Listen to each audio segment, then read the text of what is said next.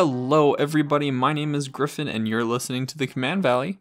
Today, we have an exciting upgrade video from the Ruthless Regiment Commander 20 deck, and I'm going to be going through it with you and telling you what cards I took out, what cards I'm going to put in, and a little bit of why I'm putting those in. Before I begin, I just want to let you guys know that we are releasing content a lot this month and next month with the release of C20 and the release of Ikoria. There's a lot of commanders that we want to present for you guys. So please make sure you like this video, subscribe, and share it with your friends. It really does mean a lot to us, and it's a, it's a small way to support the, the podcast. And also, thank you to GameGrid Lehigh, our sponsor for this podcast. If you are in the Utah County area, please check them out. The link is in the description below. They have the best customer service, an amazing selection of cards, deck boxes, Dungeons and Dragons accessories, and lots of board games. So please check them out, show them your love. We really appreciate them. All right, let's go ahead and jump into it. So again, we are covering the Ruthless Regiment deck from the C20 commander precons. And the commander of the Ruthless Regiment deck is Jirina Kudro. Jirina is one red, white, black for a 3 3 legendary creature human soldier. When Jirina Kudro enters the battlefield, create a 1 1 white human creature soldier token for each time you've cast a commander from the command zone this game. And she also reads other humans you control get plus 2 0.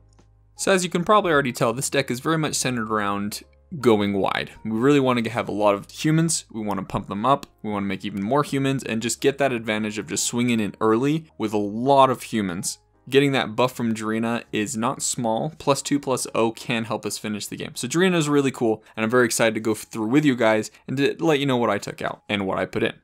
So first I'm going to go on with the creatures that I took out and the creatures that I put in. I did find with most upgrade deck techs, I don't take out as many cards. Jirina had a lot of cards that were suboptimal and not human. So we want to make sure that we have as many humans in the creature slot as we possibly can. So here are a couple of the cards that I took out. Cavalry, Pegasus, Humble Defector, Kelsien the Plague, Xathrid Necromancer, Captivating Crew, Fireflux Squad, Frontier Warmonger, Magus of the Disc, Riders of Gavony, Trynn and Silvar, Titan Hunter, and Titan of Eternal Fire. I'm not going to go into too much detail about why I took these cards out. I feel it's more important for me to tell you guys why I'm putting cards in. Just know that these cards in my mind were suboptimal. I felt that there were better slots and better purposes for these cards. I also took both of the commanders, both Kelsey and Trynn and Silvar. I don't think that they help this strategy all that much. I know that Trynn and Silvar have a little bit of synergy with humans, but not enough for me to validate having them in this deck. If we want to make this deck the best that we can, we're going to take out the cards that are suboptimal for the most optimal cards. So without further ado, let's go ahead and jump into the creatures that I put in. First up, we have Mikaeus the Lunarch. For 1 white and X, he comes in with X plus 1 plus 1 counters, and you can put a plus 1 plus 1 counter on Mikaeus by tapping him. You can also tap him to remove a plus 1 plus 1 counter and put a 1 1 counter on each other creature you control. This goes perfect in our strategy. He is a human, so he gets that buff. He also can buff up our whole team, and he can do that consistently throughout the game. So he's going to help assist us really well in our strategy. Fiend Hunter, one white white for a 1-3 when he enters the battlefield, exile another target creature until it leaves the battlefield. We do have one of these effects in the deck already, I just wanted to add another one because this is a very useful tool to have in this deck. We want to make sure that we have interaction removal, and I didn't feel that there was quite enough in this deck, so put Fiend Hunter in. We have Archetype of Courage, one white white for a 2-2, Creatures you control have first strike, and creatures your opponents control lose first strike and can't have first strike. Because Jirina buffs our creatures plus 2 0, that means they have high attack but may not have necessarily high defense. By giving them first strike, we alleviate that worry about having low defense, because the more that we buff up their attack, the less we're worried.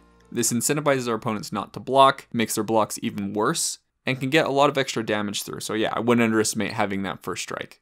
We have Grand Abolisher, one white, one white for a 2-2. During your turn, your opponents can't cast spells or activate abilities of artifacts, creatures, or enchantments. This is going to be extremely useful. That makes sure that on our turn, nothing that we have is going to get countered, removed. That means if we cast Jirina optimally when we have a lot of humans out, nobody can interact with our board on that turn. So we have immunity on our turn to be able to swing out and not feel that we're going to get hit back because of some hidden spell that's going to come our way. Mother of Runes, one white for a 1-1 creature human cleric. She can tap to give target creature control protection from the color of your choice until end of turn. The reason I put Mother of Runes in here is because we do have a couple of humans like Mikaeus, like Jirina, and some other ones we're going to cover that we want to protect more than others. With Mother of Runes also being a human means that any triggers off of the humans we're going to get, and it can also make sure that we get protection from any color that we choose. So any removal spell, any creature that we're blocking, any creature that we're attacking into, we can give it protection, make sure we can protect our creatures. We have Hanweir Militia Captain, which is one and a white for a 2-2 at the beginning of your upkeep. If you control four or more creatures, transform Hanweir Militia Captain. And then she transforms into Westvale Cult Leader. She is a star star. Westvale Cult Leader's power and toughness are equal to the number of creatures you control, and at the beginning of your end step, put a 1-1 white and black human cleric creature token onto the battlefield. So this is a nice cheap creature. We are going to have a lot of creatures out early, and so this is just an engine that we can get started, getting as many humans onto the battlefield as we can. Remember, all of these tokens may be 1-1s right now, but we have a lot of pump effects, including Jirina, that are going to make sure that at the later parts of the game, they're going to be a big threat. We have Champion of the Parish, 1 white for 1-1. Whenever another human enters the battlefield under your control, put a plus 1 plus 1 counter on Champion of the Parish. This is a really good first turn starter. We're going to be playing a lot of humans, so Champion of the Parish is going to get really, really big, and it's going to be a good blocker, a good attacker, while we're still trying to set up our board. We have General Kudro of Drannith from the new Ikoria set. One white black for a 3-3 legendary creature human. Other humans you control get plus 1 plus 1. And whether General Kudro of Drannith or another human enters the battlefield under your control, exile target card from an opponent's graveyard. Then for 2 generic, we can sacrifice 2 humans and destroy target creature with power 4 or greater. This gives us some flexibility. We're going to have a lot of human tokens, so we can use those humans tokens to get rid of big creatures that are going to get in our way. Any team buffs that affect our humans in any way are ones that I've considered including. We have so many options, but this is just one of the ones that I feel add just a little bit more to this deck. Next up, we've got Mentor of the Meek. For 2 and a white, we have a 2-2. Whenever another creature with power 2 or less enters the battlefield under your control, you may pay 1. If you do, draw a card. Mentor of the Meek is a really good draw engine, especially because we're creating so many small tokens, and also most of our humans aren't even above that 2 power range. So as long as we have some extra mana, Mentor of the Meek is going to ensure that we have cards in our hand. And finally, one of the non-human creatures that I have validated for this deck is Angel of Glory's Rise. She is 5 white white for a 4-6 flying angel. When Angel of Glory's Rise enters the battlefield, exile all zombies, then return all human creature cards from your graveyard to the battlefield. Angel of Glory's Rise is a really good way to be able to throw yourself back in the later game if you just can't seem to get enough tokens to be able to power your opponents out early and your board has been wiped a couple of times, Angel of Glory's Rise assures that we can get all of that advantage back and just keep on swinging. So here are my four honorable mentions. Uh, these are cards that I have thought about putting in, but I didn't put it in. I, I'm not quite convinced that they don't belong in the deck, but I'm just a little bit, I'm a little bit iffy about them. So let me just present them to you guys and see if you like them, definitely put them in, in your version of Jirina. We have Intrepid Hero, two and a white for a 1-1 human soldier. You can tap him to destroy target creatures, power 4 or greater. Super useful to be able to remove creatures. However, he is three mana for a 1-1 and he is likely to get removed and not stick around. So I was a little bit iffy about that. We have Baird, Steward of Argive, 2 white white for a 2-4 legendary creature human soldier with vigilance that, that taxes your opponent's creatures for attacking you or planeswalkers you control. As much as I do like taxing my opponents for attacking me, there's a lot better 4 drop slots that we can have in this deck. I really want things that are going to make tokens or refill my hand at this point. And then finally, we have Judith the Scourge Diva. And this one's interesting. She is one black red for a 2-2. Other creatures you control get plus 1 plus 0. Whenever another non-token creature you control dies, Judith the Scourge Diva deals 1 damage to any target. Now, I thought about this one for probably the longest. I like the buff that she gives to our creatures. And I also like that when a non-token creature dies, we can ping something, so we can get some extra damage in there. However, I, I even though she is a human, I feel like there are better pump effects, and I'd probably rather them be enchantments than creatures, because creatures can be removed pretty easily, more so than enchantments. Let's go ahead and move on to the non-creatures. First off, I did decide to take out the Nahiri that is included in this deck. I, I, I really love Nahiri. I love her character, and this card is is very cool. I like discarding cards and drawing cards. gives you a little bit of advantage, but I honestly think that this is not the place for her if we want this deck to be as optimal as it can be. Instead, I have swapped her out for Gideon, ally of Zendikar. The reason why is because Gideon, as soon as he comes out, we can already use his minus ability to be able to get us the emblem. I'll go ahead and read him out for you guys so you know what I'm talking about. He has two white white for a four loyalty planeswalker. Plus one until end of turn, he becomes a 5-5 human soldier ally creature with indestructible that's still a planeswalker and prevent all damage that would be dealt to him this turn. Already, he's considered a human, so our buffs that affect humans will be able to benefit him. For zero, you can put a 2-2 white knight ally creature token onto the battlefield. Now, it's not a human, it is still a token, so it will get some buffs, but it won't get buffed by Jirina. However, for minus 4, you get an emblem with creatures you control, get plus 1, plus 1. The reason I really like Gideon in this deck is because he can do something the turn he comes out. Worst comes to worst, we just use the minus 4 straight away, send him to the graveyard, but we have an emblem that cannot be interacted with that gives our team a buff. We can also plus him up, give him indestructible, hope he lives, and the next turn, if he's at 5, we can minus 4, start at 1, and start the process over again.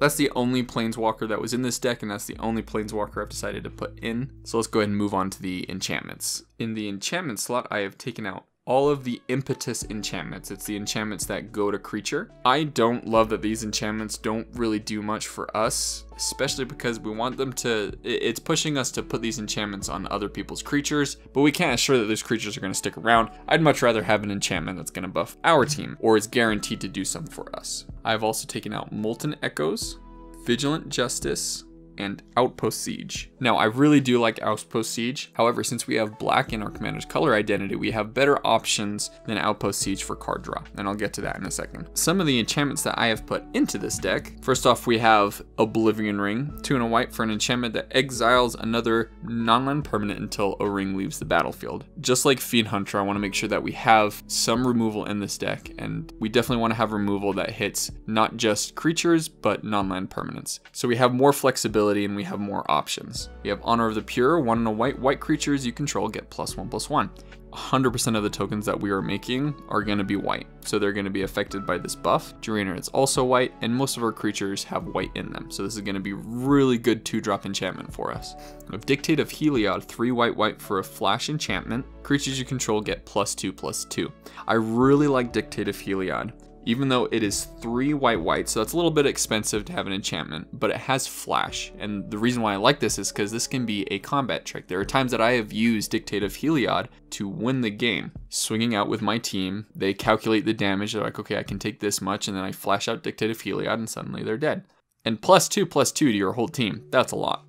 If we just have a Dictate of out and we have five tokens with Jirina, they're all five threes. That's a lot. Outlaw's Merriment, one red, white, white for an enchantment. At the beginning of your upkeep, choose one at random. Create a red and white creature token with these characteristics. A 3-1 human warrior with trample and haste a 2-1 human cleric with lifelink and haste, and a 1-2 human rogue with haste, and when this creature enters the battlefield, deals 1 damage to any target. This is a nice 4-mana enchantment that assures that we're going to get a human out onto the battlefield every single turn. We're not going to be able to choose which one that we get, however, they are still human, so they're going to be pumped by Jirina. So I, I like this card. I like that it assures that we can get a creature out each turn. And then we have Cathars Crusade. For 3 white white, we have an enchantment. Whenever a creature enters the battlefield under your control, put a plus 1 plus 1 counter on each creature you control control. If any of you have seen Cathars Crusade, it can get nuts really, really fast. So this is going to be an all-star in this deck because we're going to be creating a lot of tokens. We're going to play playing a lot of humans. So this is going to make sure that we have just a massive, big buffed human army. Also for enchantments, we have Phyrexian Arena, which is one black black for an enchantment that says at the beginning of your upkeep, you lose one life and you draw a card. This is the kind of card draw that I like. It assures that we're going to be able to draw cards. It's not conditional, just at the beginning of your upkeep, we lose life and we draw a card. Drawing two cards every turn, that's, that's a good place to be. And then lastly, this is definitely up to you. This card is pretty expensive. Anointed Procession is 3 and a white for an enchantment that doubles all the tokens that we're making, but it is expensive. If you have the budget to put this in, I would definitely recommend putting this in. Alright, next up we have the spells. Here are the spells, the instants and sorceries that I've taken out. Dire Tactics, Unexpectedly Absent, and Crackling Doom. Now the reason why I'm taking out a removal spell is even though it is a nice 2 mana exile target creature, I would much rather have uh, open-ended options because we are in Mardu, so we have a lot of options to be able to get rid of an exile anything that we want, any non-land permanent. Utter End, Vindicate, Despark are a couple of good options to replace Dire Tactics. You can do any one of those. You can do two of them. If you really want to put three of them in there, go for it. I would recommend putting in Utter End because it is an instant. You can exile a non-land permanent. Gives you a lot more flexibility. Other spells that I have put in here, we have Launch the Fleet for one white. We have a sorcery with Strive. Launch the Fleet costs one more to cast for each target beyond the first. Until end of turn, any number of target creatures each gain whenever this creature attacks, put a 1-1 white soldier creature token onto the battlefield tapped and attacking. Now this doesn't create us humans, but this does create us a lot of tokens if we have the mana for it. I do love things that give us tokens. We have a lot of pumps that affect everything, not just our humans, so I don't mind having this one mana sorcery in here. We have Vandal Blast, one red for a sorcery, destroy target artifact you don't control, and it's got Overload for four and red. Kindred Dominance for 5 black black, choose a creature type, destroy all creatures that aren't of the chosen type, an auto include in any tribal deck that's playing black. We have Collective Effort, one white white for a sorcery with Escalate, so tap an untapped creature you control, and then you can use more than one mode. Choose one or more, destroy target creature with power 4 or greater, destroy target enchantment, and put a plus one plus one counter on each creature target player controls. So a really flexible card. We guaranteed 99% of the time we're going to be able to use all three of these modes if we have targets for them. We have Dusk Till Dawn, and this one I want to spend a little bit of time on. It's 2 white white for a sorcery, destroy all creatures with power 3 or greater, and also has the aftermath that says return all creature cards with power 2 or less from your graveyard to your hand. Now the reason why I want to sit on this for a little bit is in one of the creatures that I took out was Magus of the Disc. And these are both board wipes, but the reason why I like Dusk better is because Magus of the Disc affects us very hard. If we're going to destroy all creatures, artifacts, and enchantments, it's going to destroy ours as well. I would much rather have a board wipe in this deck that benefits us. So things like Kindred Dominance, which we can choose which tribe doesn't get destroyed, and things like Dusk, which destroy all creatures power 3 or greater, and Citywide Bust, which is already in this deck, assures that even though we have small creatures, we can still wipe the board by destroying all creatures with power 3 or greater with Dusk or 4 or greater with Citywide Bust. We have Repel the Abominable, which is 1 and a white for an instant, prevent all damage that would be dealt this turn by non-human sources. Normally I don't play Fogs in my deck because usually they don't work out the way I want them to. Repel the Abominable says by non-human creatures. So that means we can protect our creatures, we can assure that they can attack without worry, we can defend from a big onslaught that's coming our way. There's a lot of flexibility with this card, I really like it. And lastly, we have one that's a little bit up there. Last time I checked, it was about around $10. It's Disrupt Decorum. It's two red red for a sorcery. Goad all creatures you don't control. This is a really, really good card to put in this deck because with all the creatures that we have, we want to make sure that we're attacking into a player with no open creatures. And the best way to do that is with a Disrupt Decorum. It assures that all of our opponent's creatures are attacking each other, so life totals are going down, and it gives us the opportunity to swing in for the win. Lastly, I want to talk about the artifacts I have removed from this deck. I have removed Sanctuary Blade, Bonder's Ornament, and Heirloom Blade. Now the the two artifacts that I've included in here are Door of Destinies, which is 4 mana for an artifact. As Door of Destinies enters the battlefield, choose a creature type. Whenever you cast a spell of the chosen type, put a charge counter on Door of Destinies, and creatures you control of the chosen type gets plus 1 plus 1 for each charge counter on Door of Destinies. This card, if it sticks around, is going to go the distance for us. We're going to be casting a lot of humans, and the majority of our deck is just humans. So it, you could see Door of Destinies having 6 charge counters on it, and giving all of our humans plus 6 plus 6. At that point, we might not even need Jirina to swing out. I also have Sun Forger in here, which is an artifact equipment for 3 mana. Equipped creature gets plus 4 plus 0. And for a red and white unattached Sun Forger, search your library for a red or white instant card with converted mana cost 4 or less, and cast that card without paying its mana cost, then shuffle your library, and equips for 3. The reason why I really like Sun Forger is because this can get our removal spells from our library and we can cast them. So it's instant speed, so we can do it at any time we can get our desparks, terminates, utter ends. Really, really useful. The more instant removal and card draw you have in here, the better that this gets. Alright guys, that's about all I have for you for Jirina. Uh, I know there was a lot of things that were taken out and we put a lot of things in, but I really feel like these cards are going to be better for you than the cards that were already in there. Not that they weren't good in the deck already, I just feel like if we want to make this deck as powerful and strong as we, it can be, then these are the cards I would recommend putting in. This is not an extensive list. I'm sure I've missed a couple of things. So please, if you have recommendations for this deck, leave them in the comments. I want to see them. It helps a lot of people out when they see it too. So please, let us know what you think and what you thought about this video once more, please stay tuned this month. We have so many deck techs and so many upgrade videos coming out for you guys. We're super excited to share them with you. We're already working on a couple with all the companions that have come out. I'm super excited to get started on building them. I know the standard and, well, pretty much every other format is not loving the companions, but Commander, man, we like, we like commanders. So super excited to build those for you guys. Alright, that's all I have for you. So thanks so much for watching. Please remember to like this video, subscribe, helps out our little family here at the Command Valley. Appreciate you guys. We'll see you later.